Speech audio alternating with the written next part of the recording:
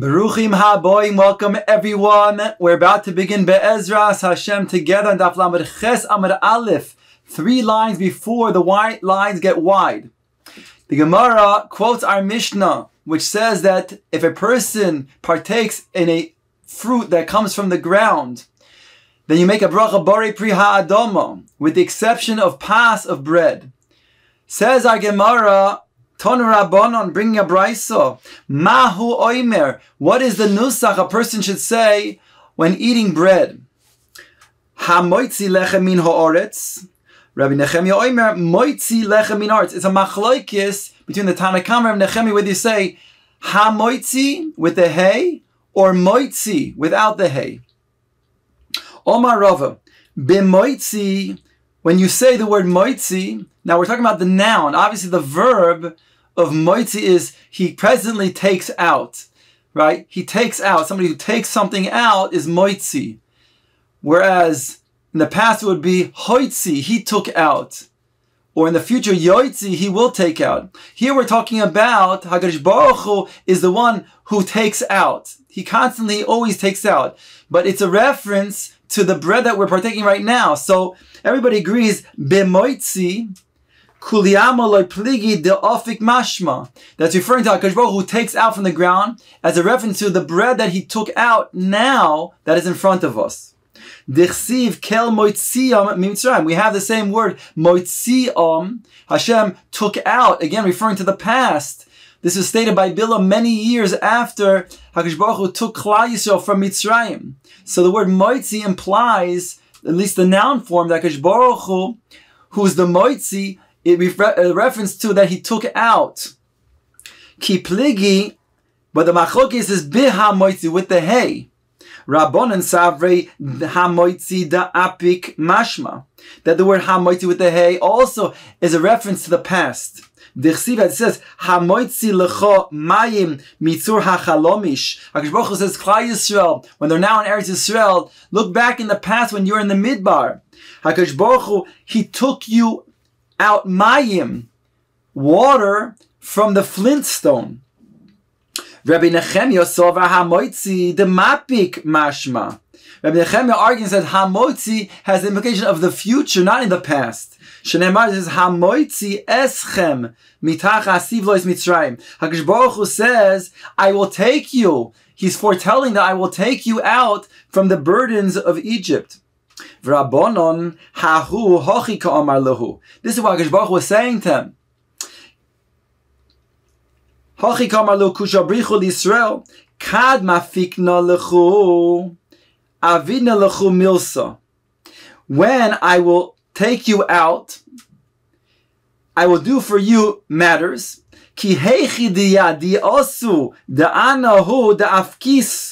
so that you will know that in the past I took you out of Mitzrayim. The Chsiv says in the beginning of that pasuk, "V'yedatem." You shall know ki ani Hashem Elokechem hamoitzi. I am the one who took you out, referring to the past. Rabbi. The Gemara says the Rabbanon praised in front of Rabbi Zera as Bar Zovid. Ached Rab Shimon Bar, Bar Rav Zovid. Bar Zvid that they praised in front of Rabbi Zera, the son of Rabbi Zvid, who was the brother of Rabbi Shimon Bar Zvid. And they praised him as follows: the Adam Gadol who Ubaki bebrachos hu. He's a great man. He's an Adam Gadol. He's also somebody who is very knowledgeable in Hilchos Brachos. Omar lahem. So Rav Zera said to them, When he comes to you, bring him to me. Zimno chado ikloy legabei. There was a time when he visited Afiki lehu rifto, and they brought him to him. They brought Rav, the, Zvid, the son of Rav Zvid, to Rav Zera, and they took out bread to eat. Posach v'omar moitzi. The son of Rav Zvid, he made the bracha moitzi lechem min haaretz. Omar zehu sha'oimrim alav the adam gadol hu baki berachoisu. Rav Zera said, this is the one they said is an adam gadol who's a baki in hilchos brachos. and he comes along and makes a bracha of moitzi lechem min on bread, bishlomei omar ha-moitzi. If he would have said ha-moitzi, then ashma'inan taimo Then we would hear the reason that he would explain that previous verse that was in dispute, that it's going on the past. And also we would hear definitively the halacha is like the Rabbanon. Ella de Omar Moitzi my kamash malon. But now they said Moitzi without the hey, what is he coming to teach us? We know that the halacha is like the Rabbanon over Reb Nechemia. The the ovad laafuke nafshe mipluktam. The reason why he said moitzi is because he wanted to remove himself from the machloikis, and therefore he said the word moitzi, which everybody agrees to, is a good bracha referring to the past. The hilchas, however, the halacha is hamoitzi lechem mina oritz. The kaimelon kirabonon, the amre, the afik mashma. The halacha is that we do say hamoitzi lechem min haaretz, and indeed that's referring to the past that the bread that we're about to partake in, this was taken out by the one who's moitzi lechem min Baruch who takes out bread from the ground. Says the Gemara, quoting our Mishnah, Val oimer bore pri ha'adama. When it comes to things that grow from the ground like lettuce and cabbage, the bracha is bore pri ha'adama. Says the Gemara, Kitoni Yerokos dumya de pas. Our Mishnah teaches Yerokos that is similar to pas to bread. Ma pasha nishtane ha'ur. Just like bread which is transformed through a hot fire. Af Yerokos nami nishtanu aidea or so too Yerokos which is transformed with a fire. In other words, the same way that bread doesn't lose a status, so too vegetables will also not lose their status when you cook them. Says the Gemara Amar Ravonai Mishmei de Abaye. That means to say, therefore, that if a person cooks vegetables, the bracha on those vegetables will remain borei priha adamo. Says the Gemara, Dorash Rav Chisda Mishum Rabbeinu. Rav Chisda expounded in the name of Rabbeinu. Who's Rabbeinu? Umanu Rav. This is referring to Rav. Shlokos mevarchin aleim bore priha adama. When a person eats cooked vegetables, he makes a bracha of bore priha adama. V'rabosenu hayardi me'eretz Yisrael. The sages that came down from Bavel to Eretz Yisrael, umanu ula, mishmei Rabbi Yochanan, and that's referring to Ula, who came down from Bavel to Eretz Yisrael in the name of Rabbi Yochanan. Omar he said, Shlokois mevarchin aleim shehakol niyebit He said you would make the bracha of shahakol on vegetables that were cooked. Vani oimer, however, he says, I say, this is Rav Chisda speaking, that there's no machloikis. Boy if the fruit, the vegetable, is such that in the beginning it'll get the bracha bari pri adama, and then by cooking it, you would make it worse, thereby it'll lose the status of bari pri adama, and he'll, have the bracha, the designation of shahakol near bitvoroi. And that which begins with the bracha shahakol near bitvoro when you would eat it raw, for example, like potatoes, Shlokoi, when you would cook it, bore priyadamo, then the bracha would be on the cooked potatoes, bore priyadamo. Says the Gemara Bishlama kol shetchi losa shahakon yabit voroi shlokoi bore priyadamo mishkachas lo. It's fine, it's good according to that, which we're saying that if you eat it raw, it would begin with shahakon yabit voro, and then turn out when you cook it to be bore priyadamo. And the Gemara gives examples, aside from the potatoes that I mentioned. Mishkachas lo, bekrova, vesilka, vikra. We're talking about cabbage, beets, and gourds. All of these things that if you would eat it raw, it would be shahakol. but when you would cook it, it would become better, and thereby get the designation of Borei Pri Adama. Ella kol shetchilos obe pri adamo shalokoi shahakol hechi mishkachas lo. But that which is raw begins with bari pri adamo. If you were to cook it, it would become worse and lose the bracha of bari pri adamo to be a shahakol. What is that case? What is that vegetable that we're talking about? Om Rab Nachman Bar Yitzchak Mishkachas Lo Betumi Vikarti. We're talking about a case if it was garlic or if it was leeks, those type of things that although they are they are good when they are raw, they can be eaten and the bracha would be priya adama. However, if you cook them, they lose their status and they become worse, and therefore the bracha would be shahakol niyeh bidvoro. Dorash Rav Nachman Mishum Rabbeinu. Rav Nachman expounded in the name Rabbeinu. Who's Rabbeinu over here? Umanu Shmuel. This is referring to Shmuel. Shloko is mevarchin aleim borei priha adamo. When a person cooks vegetables, the bracha is borei priha adamo, just like if they were raw.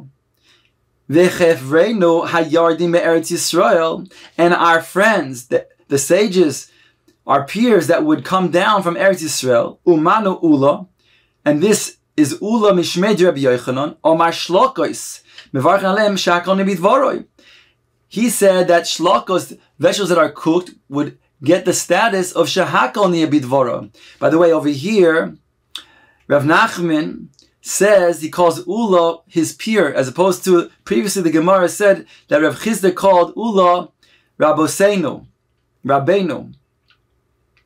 And that's because over here, Rav Nachman is a, is a, is a greater personality than Rav Chisda, and therefore he considered to be Ula to be a comrade of his and not one of his Rabbeim. So anyway, said the Gemara, Vani, however, Rav Nachman says, this is a machloikis, whether it's shlokas is ha'adama or it's shahakol. The Tanya, for it says in the Braisa the following, Yoitz in berekik, hashor b'mevushal, shelo nemuach, Diva Rabbi Meir. Here we're talking about on Lela Seder. The Torah says, Ba'erev toichlu matzos. You have a mitzvah to eat matzos on Lela Seder. So it says over here, you can be yoitze your mitzvah matzah, b'achilas matzah on Seder, be rekik with a wafer that is absorbed, that is soaked, as well as that which is cooked, so long as it hasn't dissolved. According to Rabbi Meir. Rabbi Yosi Oimer, Yoitzim berekik hasharui, Avaloi b'mevushal. Afapisha loy nimuach. Says Rav Yoisi, he argues and he says you can be yoitze your mitzvah of matzah with those wafers that were soaked. However, those that were cooked, you cannot be yoitze even if they did not dissolve. So what do we see from this? We see that Rav Meir, he holds that shlokos, doesn't lose its original status because over here, when it comes to rikik, when it comes to wafers, so we say even though they have been cooked, nonetheless you can still be yoytze yudei chavosoi ayidei these rikik that were cooked in eating them as matzah. So we see that they remain with the same status even after they've been cooked. So too when it comes to vegetables. Vegetables do not lose their status when they're cooked and they'll also remain bori priya adama, according to Rabbi Meir. Whereas Rabbi Yossi says if they were cooked, just like the matzah that was cooked cannot be used for the mitzvah chilas matzah, so too the vegetables lose their status of bari pri adama and then get a lower status of shahakol niyabidvaro if they are cooked. Says the Gemara Velohi, but that's not so. The kuli alma shlokois mevarchin aleim bari pri adama. When it comes to shlokois, when it comes to vegetables that are cooked, then the bracha is bari pri adama. The adkan, but over here, why is there machlokes when it comes to matzos? Loy ka'omar Rabbi Yosi hasam ella mishum deba'in tam matzah veleka. That's because when it comes to achilas matzah, you have to have a tam of matzah, and if you cook them, then you lose that tam. Aval hocha afilu Rabbi Yosi but over here by shlokos, by the vegetable that is cooked, even Rabbi Yosi would agree that it will remain with the status of bari pri ha'adomo. Says the Gemara, Om Rabbi Chia bar Abba, Rabbi Yochanan, Shlokois mevarchin alim bore pri ha'adama. You make a bracha on cooked vegetables to be Bore Priya Adama. Rabbi Binyamin ben Yafis, Omar, Rabbi Yochanan, he said name Rabbi Yochanan differently. Shlokois mevarchin aleim bidvoroi. Now keep in mind, Rabbi Binyamin ben Yefis, who says that shlokois, cooked vegetables, are shehakol, that's what we heard that Ula said up above, named Rabbi Yochanan as well. Says the Gemara, Am Rav Nachman bar Yitzchok, Kava Ula, the Shabeshta de Rabbi Binyamin ben Yafis. Rabbi Nachman bar Yitzchok says that Ula, he fixed the mistake of Rabbi ben Yafis, meaning to say that he took that which Rabbi Yamin Yafis said in the name of Rabbi Yochanan, and he took that and he was kolveya. He fixed that. He he he took that and he he, he caused that to be then remembered in his mind. And that was a mistake. That's not true. Rabbi Yochanan never said such a thing that shlokos would be the bracha shahakol. Tehiba Rabbi Zeir. Rabbi Zeir was in wonderment. Yamin Yafis What would be the comparison that Rabbi Yam ben Yafis can argue on that Rabbi Chia bar Abba in the name of Rabbi Yochanan. In other words, Rabbi Yochanan, who said a statement, certainly Rabbi Chia bar Abba would have a more precise type of Masara, what Rabbi Yochanan really said. As follows, Rabbi Chia bar Abba diek v'goma shmaitzim Rabbi Yochanan Rabbi. First of all, Rabbi Yechia bar Abba was precise in his learning from the teachings of Rabbi Yochanan, his Rebbe. Rabbi Binyamin Yafis lo deg, and Rabbi Binyamin Yafis was not precise. Va'od and further, Rabbi Chia bar Abba kol tlosin yoimin mahader talmude kamed Rabbi Yochanan Rabbi. Every 30 days, so the Talmud Rabbi Chia bar Abba would review his learning on the 31st day in front of his Rebbe, Rabbi Yochanan to make sure that what he learned is accurate and he understood it correctly. Whereas Rabbi Binyamin ben Yafis, loy mahader, he never reviewed in this fashion in front of his Rabbi, Rabbi Yochanan. Now the Gemara says, in addition to these reasons, also shlokos, according to Rabbi Yochanan, is the bracha of Bore Priya Adama and not Shahakol. Says the Gemara, Va'od, Bar mindain, ubar mindain, aside from this and aside from that which we just mentioned, the ahut the shalki le sheva zimnin bekedero, the ochli le bekinuach suuda. There's a certain vegetable that is very, very, very bitter, and unless you cook it seven times, only then becomes edible. And they used to eat it, it becomes sweetened, and they used to eat it as a dessert.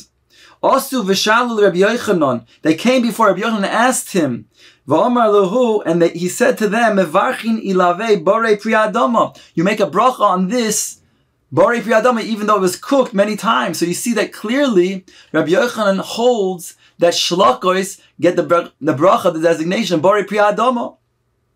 Va'od, and further, on Rabbi Chia bar Abba, ani ra'isias Rabbi Yochanan, I have an eyewitness that I saw Rabbi Yochanan sha'ocha zayis maliach uberach alav tchila v'soif. I saw Rabbi Yochanan himself eat a salted olive, and that has the same type of status as a as a shlokos, and therefore I saw that he made a bracha before and a bracha afterwards. So i amers bishlama shlokos b'milsayu kaimi b'tchila mevarich alo bari priya eitz uvasoy mevarich alea bracha achas mein sholosh.